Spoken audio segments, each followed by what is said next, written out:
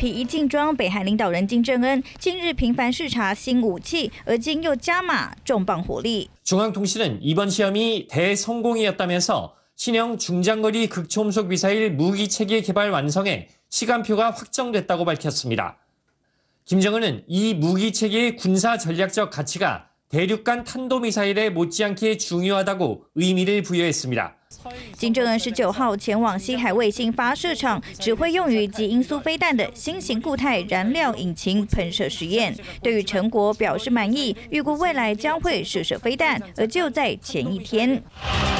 六枚超大型多管火箭炮齐发，不仅命中险境北道吉州郡近海的无人岛标靶，射程更涵盖南韩全境。韩媒更发现后方还多出第七个发射台，显见火箭炮数量似乎超过六枚。 북한은 이번 훈련에서 핵탄두를 언급하진 않았지만 공중폭발 모의 시험을 진행했다며 초대형 방사포의 전술핵 탑재 가능성을 암시했습니다. 상대적으로 KN-23이나 24에 비해서 위력이 약한 600mm 방사포지만 공중 폭발 어, 실험을 통해서 핵 탑재가 가능한 수단임을 어필하면서 위협의 강도를 유지하려는 北韩声称短程弹道飞弹能够携带战术核弹头，这也让美国国务院发出警告。尤其金正恩才很呛，军力足以摧毁首尔，而今核武备战蠢蠢欲动，更让东北亚局势剑拔弩张。